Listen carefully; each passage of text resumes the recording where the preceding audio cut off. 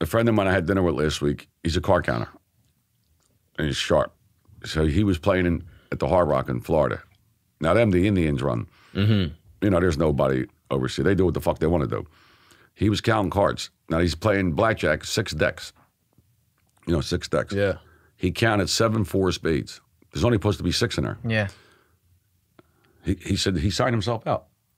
He's Put able to himself quit. banned him. They said they, they, they cheat. He told the guy count the cards. The guy said no, we're not doing it. Oh wow. So he even verified. He's like, yeah. I they're- think they cheat. How Yeah. the fuck they never break? I mean, Yeah. have you seen some of the ways that like uh I mean allegedly, I don't, I don't know if any of like the big casinos do it, but like the way like they'll be able to use a mirror to see like Oh what yeah. cards yeah, well, you look see at that? Mickey. He exposed them all. Yeah, exactly. Yeah, yeah. Mickey on TikTok, the one I sing Yeah. all the time, he exposed them all, and that's why he's banned from every casino. Yeah. He figured out what they're doing. Well, the fucking Sugar House in Philly, them motherfuckers. They got caught? They, threw me out. They got caught. They said that uh, the cards were getting stuck in the automatic shuffler. Yeah, the card, fucking all the face cards were getting stuck. We would like to thank you for watching.